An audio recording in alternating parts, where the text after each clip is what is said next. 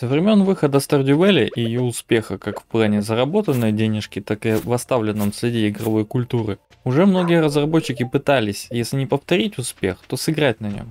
Как жанр, Stardew лайков так и не появилось, конечно, но зато появился такой вид игр, который стали называть Cozy Adventure. Переводить это грубо, но дуракам закон не писан, поэтому я грубо переведу как уютное приключение. Отличительными чертами такого приключения обычно являются разведение грядок и вспахивание животных, сбор свистелок и крафт-переделок и, конечно же, виртуальное общение с виртуальными же персонажами разной степени недостоверности. Stardew это было, и во многих последователях этой игры это было. На вопрос, почему я привожу Stardew, а не Harvest Moon, которым изначально вдохновлялся Эрик наш Барон, я отвечу, что в эту серию играло, дай бог, 3,5 человека, и вряд ли они все внезапно решили делать последователей Harvest Moon именно после ошеломительного успеха Stardew. Так вот, одним из таких последователей была игра My Time at Porsche, и одним из самых успешных и известных последователей, который при этом не был наглой и безыдейной копией. Конечно же, любой успех надо закреплять, и поэтому сиквел, а точнее параллелку, да, есть и такое понятие ядрит Мадрид, не заставился долго ждать. Портия в свое время зацепила мое внимание, поэтому я и решил посмотреть, насколько Сендрук хорош сам по себе и как продолжение идеи оригинала.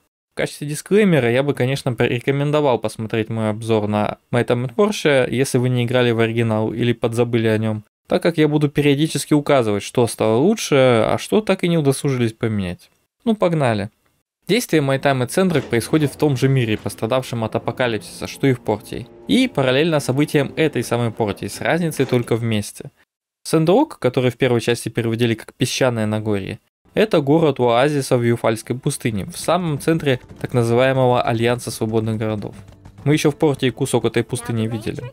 Каком-то плане эта пустыня является даже одним из антагонистов игры, и борьба с ним будет длиться всю сюжетную кампанию. Прям сети Life из Frostpunk, только для детей и им сочувствующих. История этого городка довольно интересная даже в рамках этого мира, пережившего дикую катастрофу с гибелью миллиардов человек, экосистемы сдвигания целых пластов Земли, когда океаническое дно вдруг стало сушей, и постепенно от этой катастрофы восстановившегося. Где-то с полувека до событий игры женщина по имени Мартл, проходящая с караваном, обнаружила здесь оазис, большой и зеленый. Она решила построить здесь саун для усталых путешественников и, по сути, тем самым основала Сендрок. При этом город начал стремительно расти уже после того, как под песком обнаружили мегаполис Старого Мира, названный Потерянным Раем. Рядом с городом даже есть каньон, стены которого состоят из небоскребов, покрытых песком и камнем. В мире игры такие руины кладезь различных редких ресурсов и высокотехнологичных устройств, а от того и в Сендрок хлынули старатели разной степени старательности, которые привели оазис в упадок, вырубая деревья, вытаптывая почву, высасывая воду, в общем, ведя себя как редиски. Такое отношение к природе, мать вашу, ее и погубило, что повлекло за собой постепенное опустынивание земли вокруг оазиса, его частичное высыхание и частые песчаные бури. Таким вот осушенным и погибающим городком мы и обнаруживаем Сендрок, когда прибываем туда на поезде в самом начале игры. Запустение, впрочем, на первый взгляд незаметно, ибо люди снуют по улицам, что-то делают, живут своей жизнью. Наш персонаж, как и в предыдущей игре, мастер, ну или же строитель, то бишь занимается созданием различных механизмов, мебели и даже участвует в строительстве разных всяких сооружений. Мастер на все руки, короче. На вокзале нас встречает Миан, коллега-мастер, которая добросердечно помогает нам освоиться, в отличие от черта Хиггинса в порте. Но святое место пусто не бывает, и нашим конкурентом по рейтингу самых рукастых и жопастых становится Ян, глава торговой гильдии. Тот, сразу видно, жадный мудень, который за копейку давится, из-за чего периодически капает на мозги жителям города, но он считает себя начальником, так что придется для него побегать.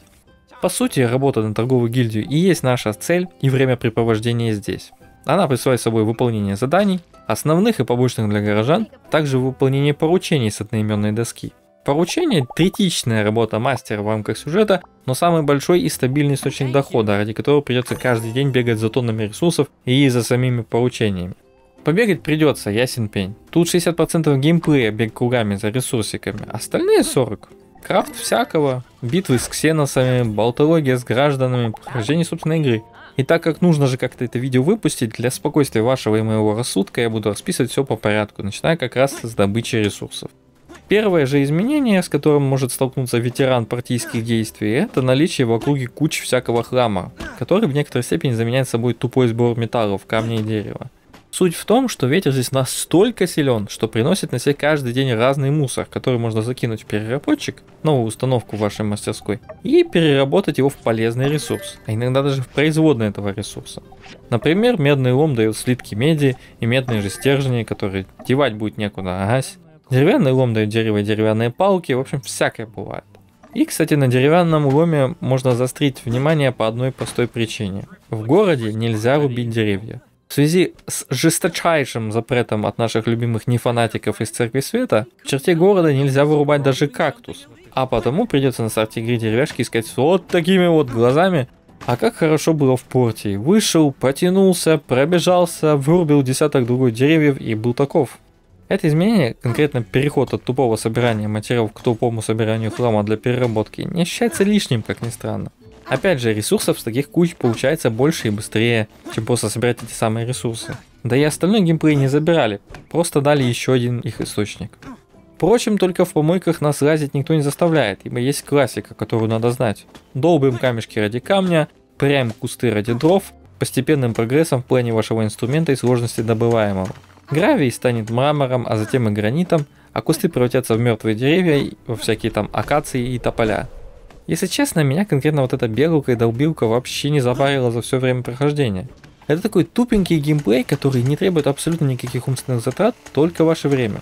При условии, что вам такое нравится, вы будете здесь в своей тарелке. Потому что сэндрок в этом плане, особенно по мере развития, дает сполна. Прибежали, бац-бац, побежали дальше, тук-тук, ресурсики получены, побежали домой.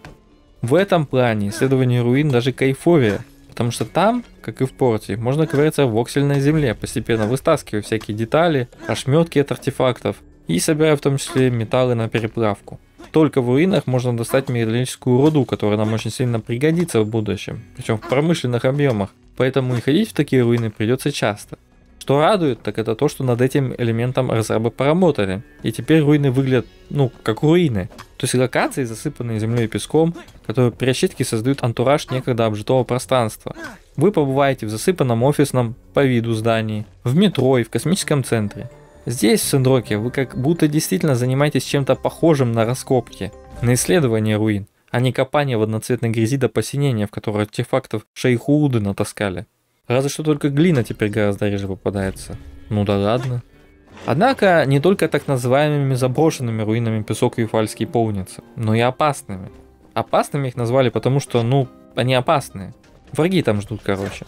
Их исследование сопряжено с получением звездюлей от разного вида врагов на разных уровнях тех самых руин. При этом исследование отличается от такового в заброшенных, ведь копать ничего не придется, только зачищать уровни с монстрами ради очков. Тут есть такой маленький, я бы даже сказал, малюсенький элемент роглайта. То бишь, на старте каждого уровня стоит машина, которая дает случайный баф на забег в этом уровне. Бафы, в общем-то, незаметные, поэтому зачем они здесь, я так не понял. Разве что помочь набивать очки за убийство монстратины с большей скоростью, ибо на каждое погружение в руины дается таймер, от количества очков зависит уже получаемая награда. В награду за прохождение дают жетоны гражданского корпуса, это местные законники, для обмена на всякое, и всякие запчасти типа двигателей. Бегать туда ради чего-то другого нет смысла никакого, тем более, что получить все это можно и по-другому. Так что я где-то с середины игры перестал абсолютно. А перестал я из-за боевки. Сенрок, конечно, похорошел в плане боевой системы, если сравнивать его с Порти. Разработчики увеличили разнообразие оружия, что заметно прям с обучения, где вам сразу же предлагают большой меч, меч со щитом, копье и кинжалы. И это только для начала.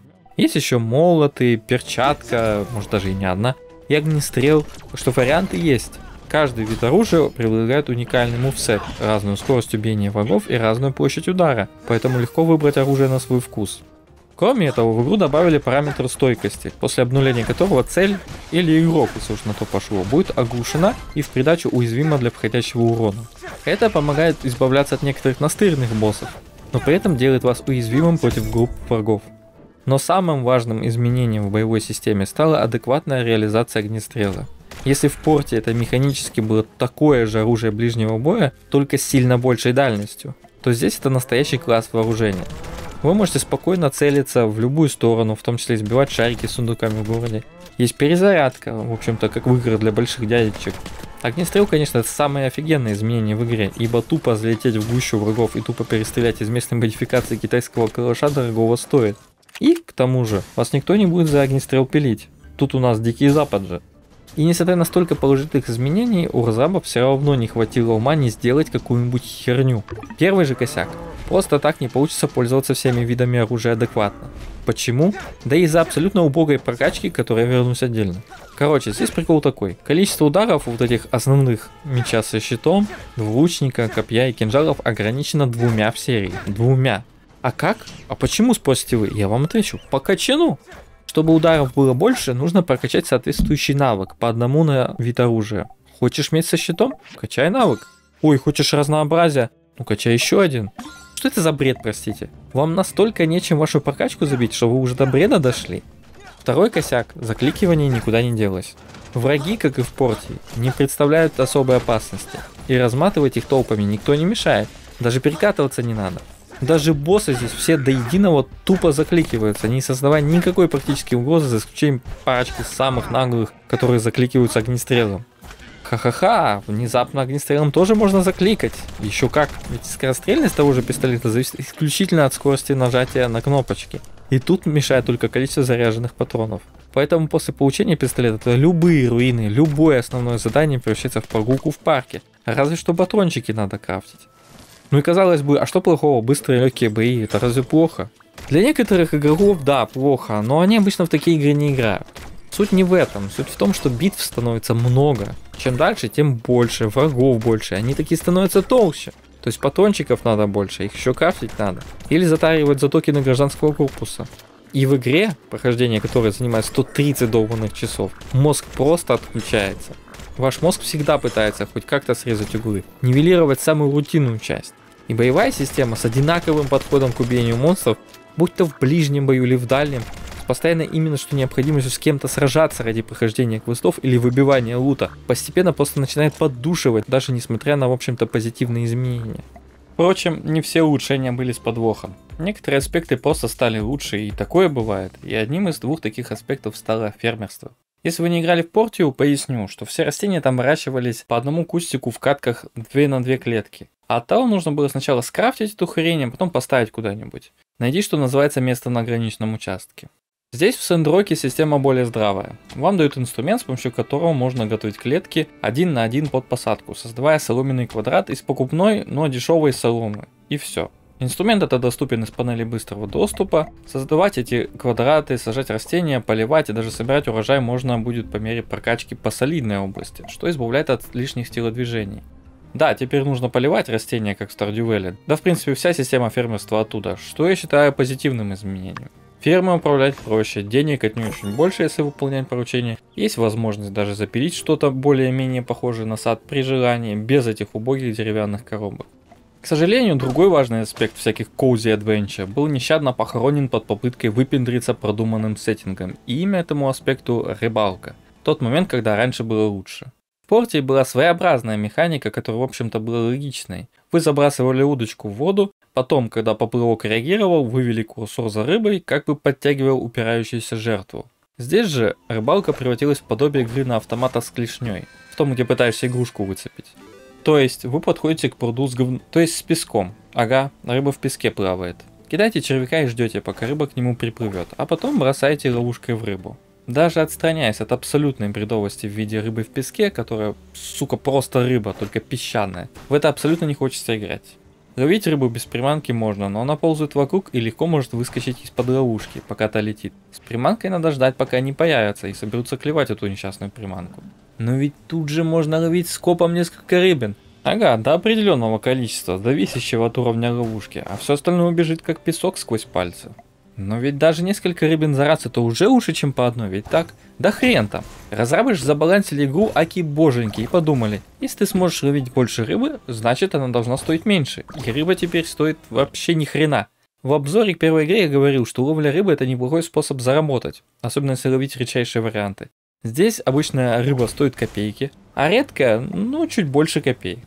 И ладно бы, если бы какой-нибудь королевский песчаный карп спавнился более-менее часто. Так хрен там, Единственная подобного класса рыба попалась мне один раз за 130 часов игры. То есть мало того, что изнахратили собственную систему рыбалки, так еще и награда за нее никакая. Это троллинг такой? Типа вы зарабатывали деньги в порте, ага, теперь здесь не получится? А нахрена тогда эту хрень надо было оставлять? А оставлять надо было, чтобы было из чего еду готовить. Суть в чем? Есть в этой игре, как и во всех других уютных приключениях, такой ограничитель, призванный остановить вас от выфармливания всех ресурсиков за один игровой день. Иначе зачем вам в игру играть, если материалов для крафта будет всегда в достатке?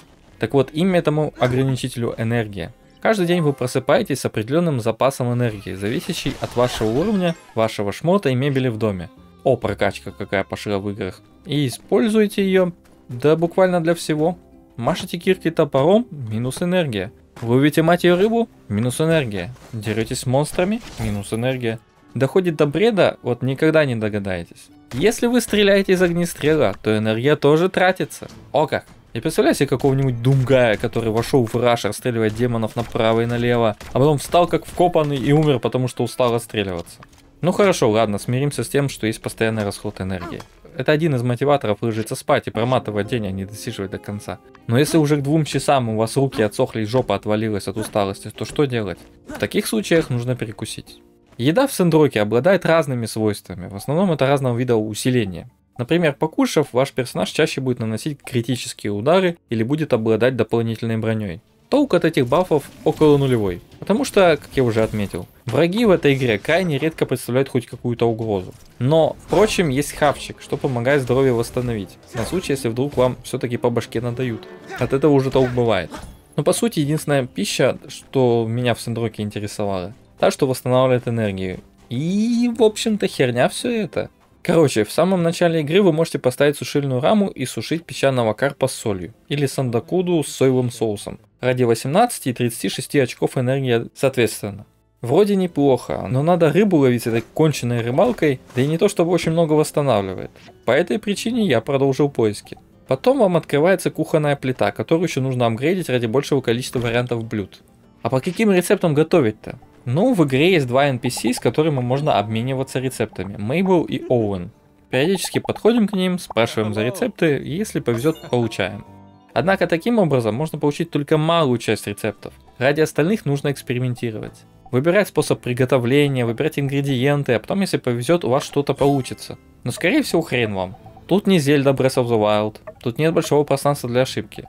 Вы должны догадаться, как именно разработчики решили реализовать то или иное блюдо. А если не угадали, то ну очень жаль. Короче, используйте фанатскую вики.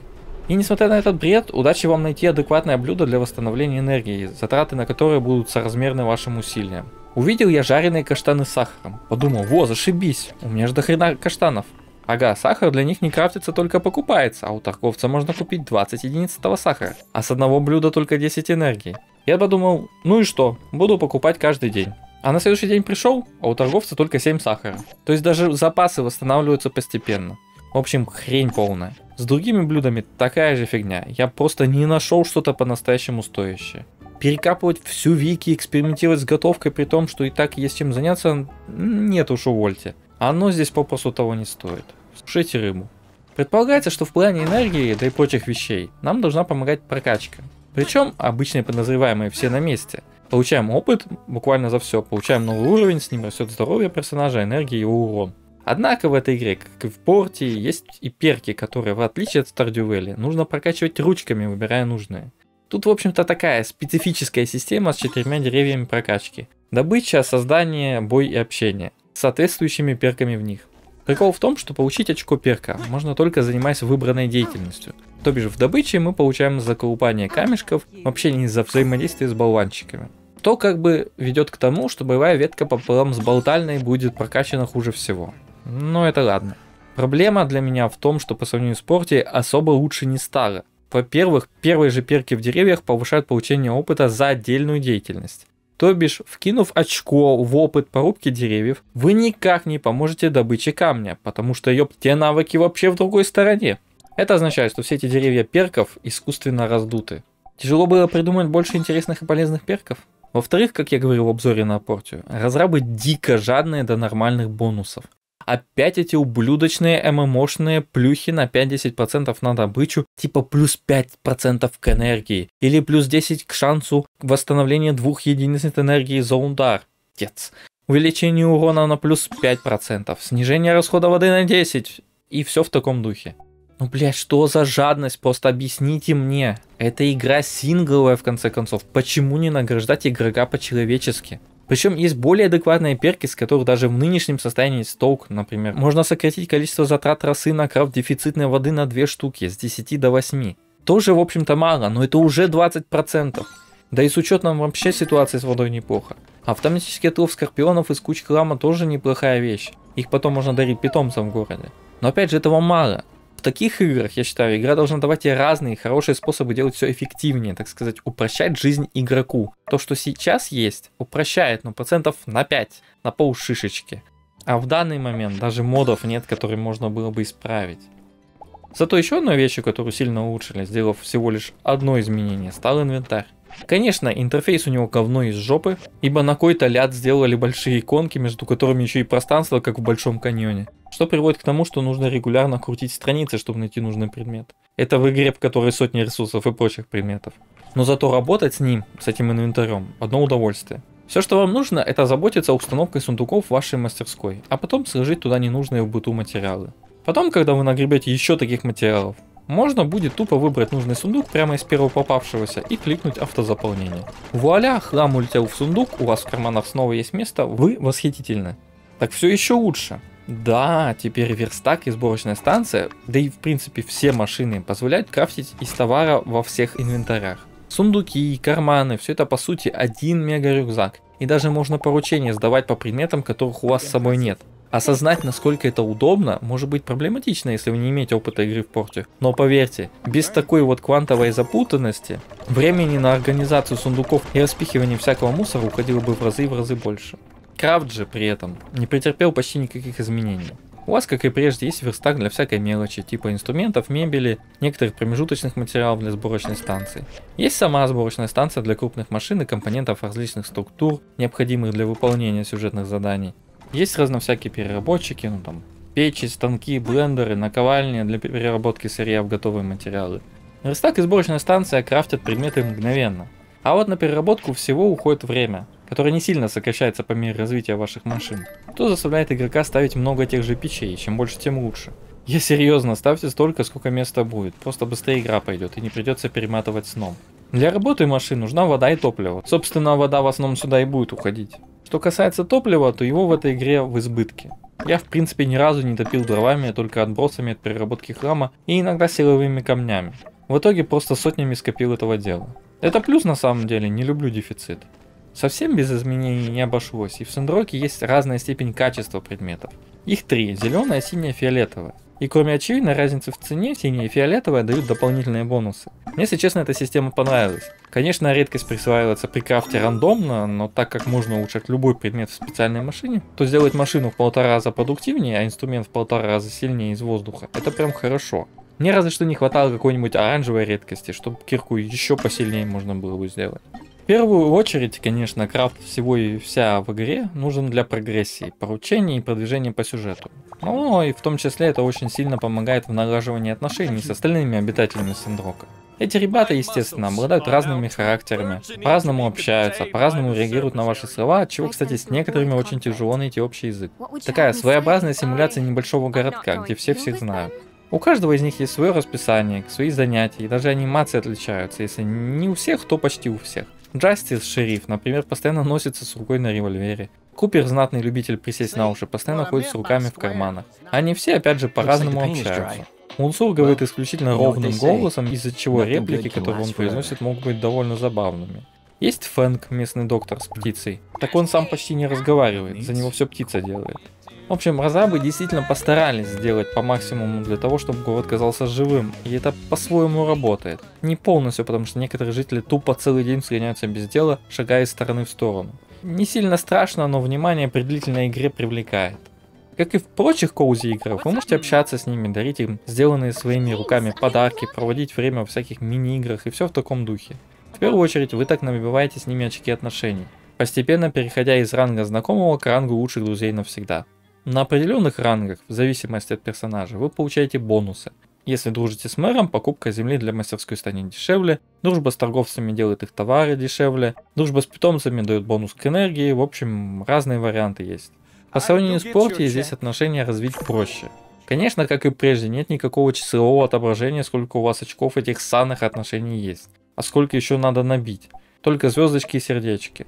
Однако набиваются эти очки гораздо быстрее. В предыдущей игре за любое действие давали одно очко. Одно, сука. Ну, с определенным навыком был шанс на еще одно, с барского плеча, ебать. Здесь отношения растут органично. Вы выполняете основные или повышенные сюжетные задания, повышаете отношения с целым городом или отдельными людьми. При повышении ранга отношений с NPC вам отсыпают очков еще в отношениях с семьей и друзьями того NPC. Так мало того, правильно подобранные подарки дают хороший бонус, особенно в нюху, и мини-игры теперь приносят профит. Камень, ножницы, бумага, например, заменили на местный аналог из четырех позиций. Мышь, кот, лиса, слон. Из за четырех хода определяется победитель. Таким образом, можно почти на халяву получить уже 5 очков. По сравнению с одним, это уже ого-го какой прогресс и это позволяет спокойно заниматься своими делами, только иногда по желанию обращая внимание на всех этих людей. По идее, так оно и должно быть в настоящем уютном приключении. Но на этом налаживание социальных связей не останавливается. Многие из фанатов таких игр играют в них еще и для того, чтобы завести роман, жениться, наплодить детей, все в таком духе. А что вы думаете, симсы такие популярны? Здесь этот аспект также имеется. Есть определенный список парней и девушек, с которыми вы можете завести отношения. В игре такие персонажи обозначаются сердечками. Впрочем, недостаточно только лишь забалтывать их до смерти, пока они не упадут к вам в объятия. Бывают и другие условия. Участие кандидатов достаточно только набить определенный ранг отношений, потом подарить предмет «Плетеное сердце», дабы объявить о своем расположении. Для некоторых кандидатов будет необходимо выполнить сюжетные или побочные задания, прежде чем ваши отношения вообще смогут развиваться. Таким образом, разработчики еще раз пробуют привнести элемент органичности в игру. В каком-то плане это, безусловно, получается. Ну, вы сами посудите, если в игре будет 10 девушек, с которыми можно будет замутить, выфармливая их расположение подарками, а потом тупо подарить плетеное сердце, будет ли это выглядеть естественно? Вот и я думаю, что нет. Тут еще помогают побочные задания таких персонажей, на которых у вас будет шанс высказать свою симпатию. Патея в этот раз уже пытается влезть на территорию взрослых с RPG с их романами. И это похвальное стремление. Всегда нужно стремиться к большему. Тем не менее, я не могу вам особо рассказать про детей и совместную жизнь, потому что моя выбранная компаньонка стала доступна для романа в самом конце игры. Да, бывает и такое. И это, ну такое.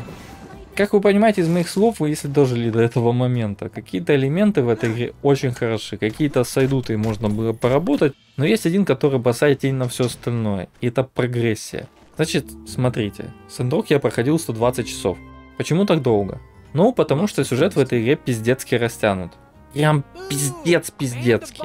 Я, конечно, расскажу о нем, но проблема не столько в его длине сейчас, сколько в том, что прогрессия прибита к сюжету метровыми костылями. Это как бы логично, вы делаете что-то для города, город открывает для вас новые возможности, да? Ага, сейчас. Вот пример. Я очень много бегаю на протяжении десятков часов. Мне нужно бегать за рудой в заброшенные руины. Это беготня, это колупание руды, это проблемы с энергией, в общем, классика. Я такой думаю, было бы неплохо заказать руды у кого-нибудь. Хрен вам! Заказать руду можно будет в последней третьей игре. У меня это были 70, а то и 80 плюс часов. Зашибись, да? Хотя, казалось бы, дайте возможность это делать раньше, хоть и за бабки. Другой пример. У вас много всякого в мастерской. Вы животных разводите, картошку растите, ресурсы в машины запихиваете, достаете. Но тоже, почему я не могу нанять кого-то в помощь? У меня есть деньги, я заплачу. Хрен вам номер два. Ваш наемный работник появится также в 80 плюс часу. Ну, э, я не понял такого мува, если честно. Есть еще и другие элементы, типа прогрессии по типу инструментов, то есть у вас уже, например, все готово, чтобы пойти дальше по оборудованию, и по ресурсам. И тут вам нужна магниевая руда, чтобы улучшить печь до последнего третьего уровня. Хорошо, но магниевая руда добывается в котовой пещере. Той же, откуда у вас появляется работник и заказы на руду. Все те же 80 плюс часов. Видите связь?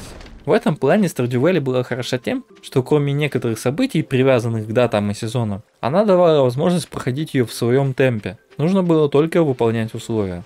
Сэндрок же заставляет игрока быстрее пролетать сюжетное поручение, дабы раздобыть инструменты получше и геймплейных фишек побольше. По крайней мере, на меня это действовало так. Вдобавок к этому, я же говорил, что выбранная мною дама стала доступна для романа к концу игры. Вы думаете, я шучу? Нию, вашу подругу детства, можно романтить только после 82-го сюжетного события. В них ходят простые ивенты, в которых ничего особо не надо делать, и собственные миссии. Из 90. 82 из 90. В общем, жениться получилось на 125-м, что ли, часу игры.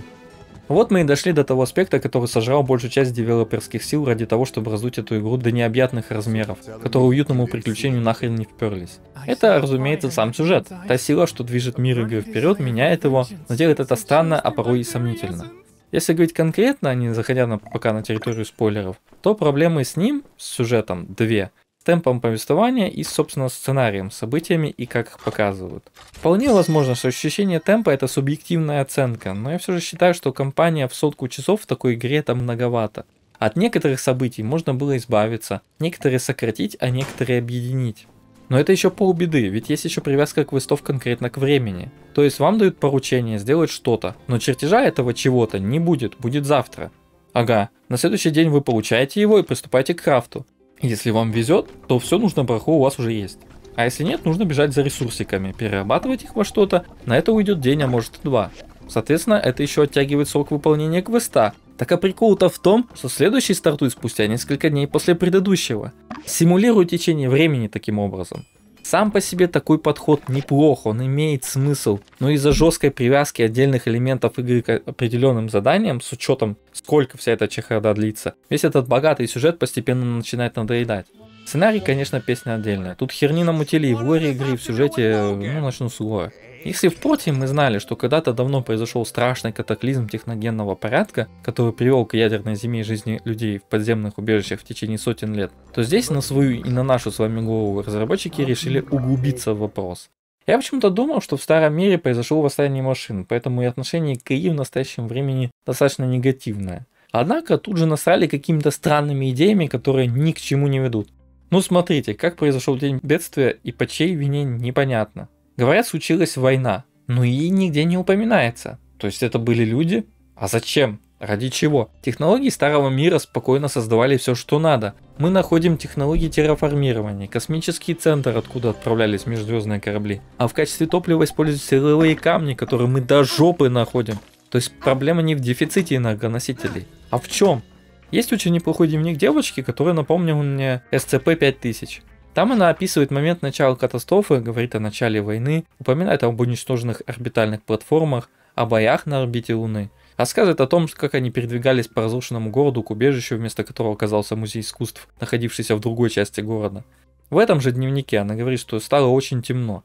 В следующем девочка пишет, как они вообще выживали в холоде, голоде, как люди стали нападать друг на друга, как ее мама ушла в поисках еды и не вернулась. Очень мрачный такой дневник, прям сильно смещается от легкой непринужденности самих Порти и Сандрока. Я подумал, вот это хорошо, вот это интересная сторона истории этого мира. Еще подумал, вот было неплохо еще такого почитать.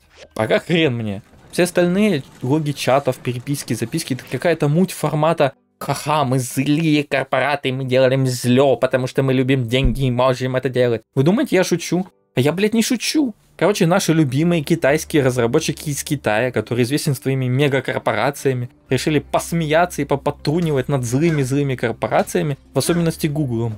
Есть тут, значит, ящеролюди, гиглеры. Они выступают в качестве врагов, и у них специфические звания. Есть гиглеры-стажеры, гиглеры-пиарщики, а руководят ими вице-президент и президент. Стоит ли говорить, что они живут как дикари? Короче, как потом окажется, они просто построили свою жизненную доктрину на основе корпоративных документов Гигл, а потом докучали гражданам Сендрока. Мало того, что там написано Билиберда, так они еще и неправильно поняли.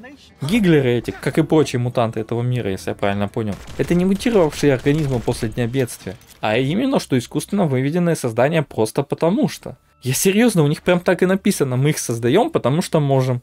Самое смешное, что в игре, в принципе, все документы такие, типа «Ха-ха, мы любим деньги» или «Можно побыть и злыми, если поможет нам заработать». Это просто конченная шиза, непонятно к чему и как прилепленная. Я могу охарактеризовать это только как критика для дошкольников. Типа, ну дети ж тупые, мы вот сейчас скажем, что злые люди делают зло, потому что они злые, и все.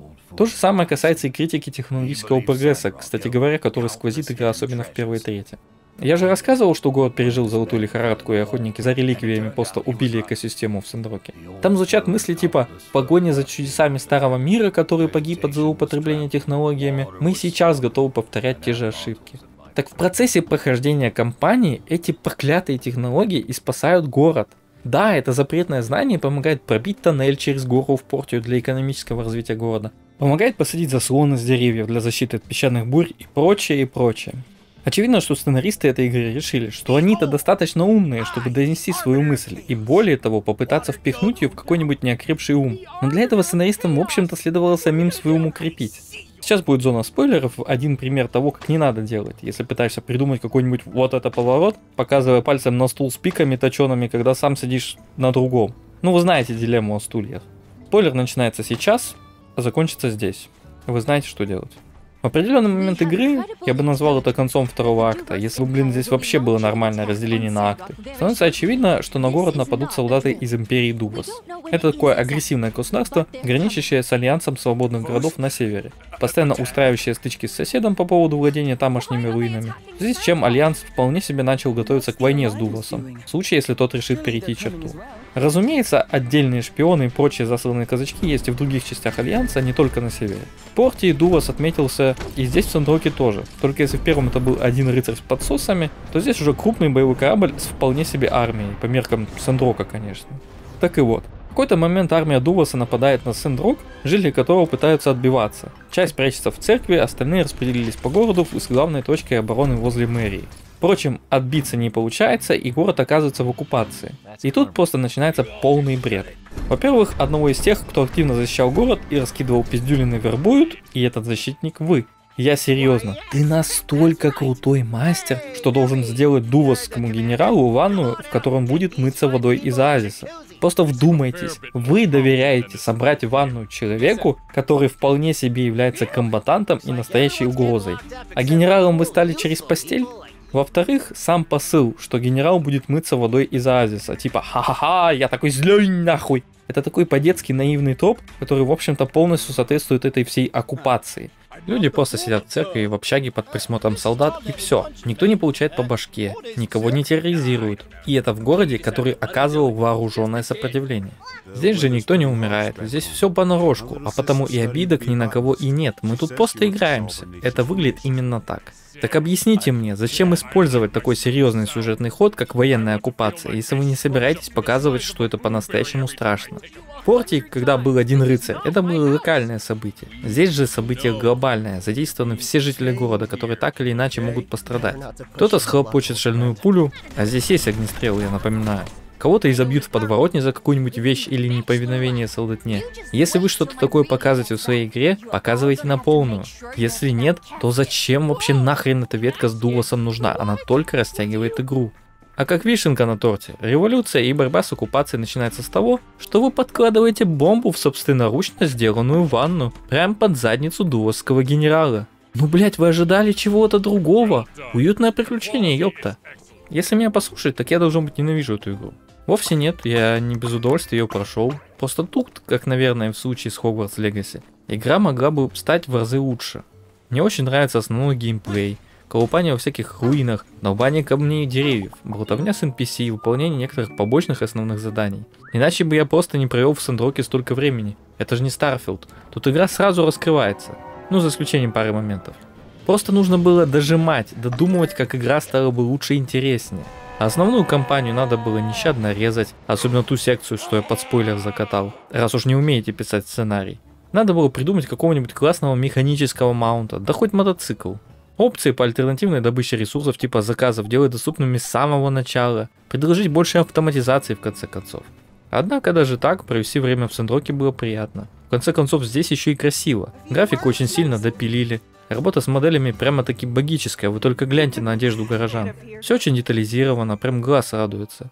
Так здесь еще и цвета все очень яркие и сочные. Я всегда именно такую цветовую палитру и предпочитал. Если уж говорить о том, стоит ли брать эту игру или брать My Time at Porsche сначала, то на самом деле Сэндрок лучше во всем. Ну разве что кроме рыбалки. Поэтому берите его, хватит с головой. Здесь больше активности, они лучше продуманы, здесь полно улучшений качества жизни, и игра вполне себе справляется с тем, чтобы быть уютным таким приключением, если вы не задушитесь от очень затянутой сюжетной кампании. Да в России она доступна, разве что стоит 2 косаря. Ну, дороговато. За эти деньги можно купить лучшую игру года, поэтому смотрите сами. И напоследок, если есть какие-то предложения, замечания или вопросы, вы можете написать их здесь в комментариях. Или заскочить ко мне на стрим, который я уже регулярно провожу. Поболтать я не прочь. Есть еще телега, куда я пишу разные мысли по играм, в которые играю или вижу в новостях, а также уведомления о стримах. В общем, увидимся.